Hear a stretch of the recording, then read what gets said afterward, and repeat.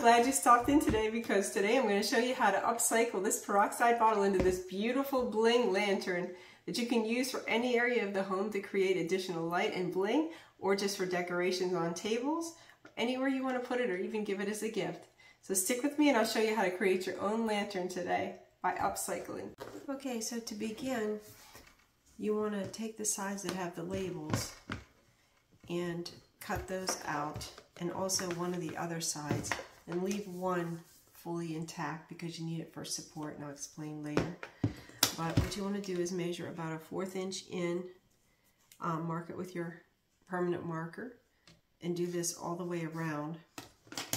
And you want to take your X-Acto knife once you have the lines on here and just cut through with the X-Acto knife and you want to take it slow and steady tracing it several times so that it doesn't get all crooked. It's a little tricky, but when you're done, you should have like this where you have the back on and the three sides um, cut out. Okay, so after you've cut these out on three sides and then leave the back on, then you want to take it outside and spray paint it with the Fusion spray paint that goes over plastic, and I chose silver here. Next, you just want to put this aside and you want to take your plastic container and you want to cut out pieces like this because we're going to put these inside here for the windows. So next you want to take glue dots and you want to put them all the way around the top and the bottom of the plastic that you're going to insert inside the lantern. And once you have that done, and what I do is I just put about six on each side and two across the top. And then you'll end up with them like this all the way around.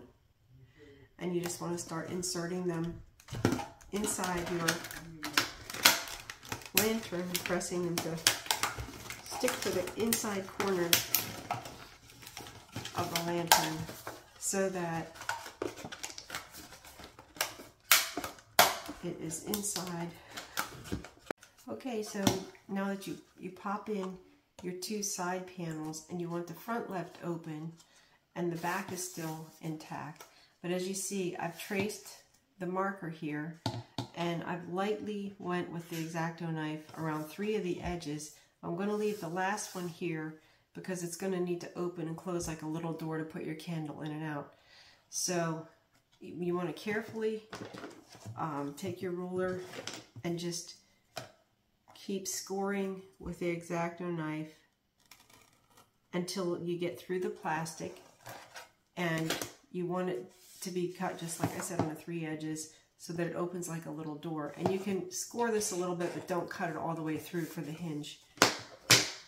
Okay so now you want to take these rolled stick-on jewels which I got these from Michaels, but you can probably get them from Amazon.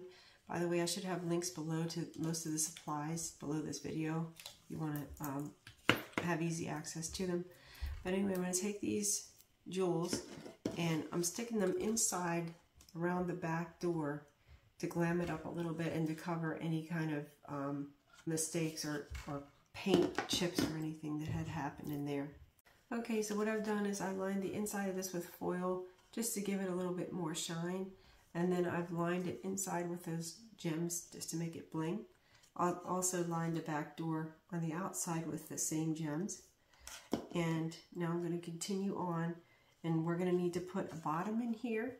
So what I'm going to use for the bottom is I have these nice paper plates that I got a long time ago from Hobby Lobby and cut out squares. You, you'll need two of them.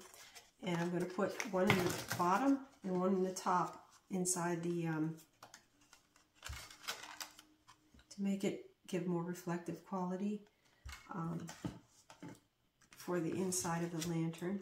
And then we're going to save the corners.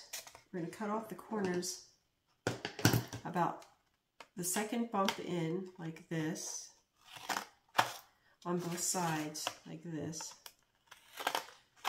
and then just cut it, cut each corner off, and you want to have it like this where it dips in so that you can fit it around so that you can fit it around the neck of the bottle eventually. Okay, so now we have the bottom and top um, reflective papers in there. And so what we want to do now is we want to put the last plastic piece in here in the front. So I'm going to go ahead and do that, put the glue dots on and snap it in there. And then we're going to decorate it the rest of the way with these, these jewels. Okay, so now that I have all the plastic sides in, I'm decorating with the um, jewel tape. And I'm just adding it to each side. And then I'm going to take these corners to those paper plates that I showed you earlier. And I'm going to apply them on each corner. I'm going to hot glue these on, um, on each corner on the top and the bottom. Okay, so now that I have these on the top and on the bottom, I'm going to start applying these stickers I got from Dollar General. And I put a few jewels on the center of them here. And I'm just going to put right where it meets in the middle on all of these. And I'm going to hot glue them on there in place. So as you can see, I put it around the different pillars of the sides and then I'm put these embellishments on here and um, I hot glued these jewels and I'm just putting the gems around the jewels and decorating more and then we'll work on the top where we're going to hang it and also on putting the candle on the inside. Okay, so next we're going to create the loop on top of the lantern and to do that we need picture wire which you can get that at the link. I have all the um, items listed in links below to the best of my ability that you can just click and it'll take you right to it on Amazon.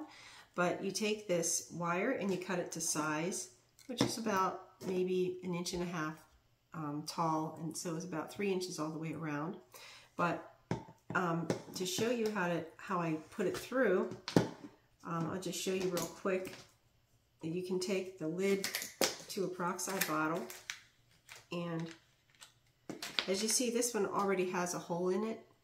So you want to put another hole on this side to be able to run the wire through and then tie it on the other end. So that's what I did. And in order to puncture the plastic, I took I took my husband's tooth um, pick thing and I lit the end like that. And I poked through just to melt it through. And I just kept doing that until I created a hole. And once I got the hole created, I took an X-Acto knife and I just spun it around and created the hole. Okay, and once you have both holes, like I said, you can run it through like this. And I'm showing you on one that's not painted because it's raining. It's been raining for a week and a half here. I hope it's better where you are. Anyway, I, I wasn't able to spray paint this one to demonstrate. But this is how you do it. You put it through tie it on the other end. So once you have your lid with the wire through it, now you want to decorate it and put the pretty jewels around how you'd like them to go. And what I do is for the middle here, I take these Jot push pins. I think I got them from Dollar Tree. And I just take the silver ones, I take one and put it down right through the middle and put the jewels around it. Okay, so now that we have the jewels around the top, we're going to focus on putting the candle inside. And to do that, I have these Ashland candles I got from Michaels. I like them because they're really pretty blingy and sparkly. But I didn't like the yellow wick inside, so I had these other ones from Amazon that um, have a whiter look to them when you turn them on. So I chose these because I like the, the brightness of it. But anyway, um, and before we get any further, if you have any comments about this um, project or any upcoming project ideas, or anything you'd like to say below, um, I'd really appreciate you commenting. Center, and I put a little thing on the door in the back, little handle, and you just open it up like this, and you can put the, um, I had it stuck with glue dots, so it was a little tricky getting out, but you want to do the glue dots just to hold it in place so it doesn't slide around in there. But this one I got from, I believe, Michael's, these Ashland ones, they're very nice. Um, you can get something similar from Amazon, I'm sure. And I think the link might be below. I can't remember. anyway, um, there's also these that you put in the top. So what you want to do is just, you can turn this on and then just set it in there and you you just glue dot the silver one in here so that it stays in place. And then when you want to turn it on and off, you just take off the top part and you turn it on or off and then you can just put it right back in there set it right sits in there nicely. Okay. All right, so we, we have our lantern. Our project is finished. I appreciate you watching and I hope you have a wonderful day and I hope you'll check out some videos below that are on upcycling also that I've made in the past and I hope that you'll subscribe so you can see future ones.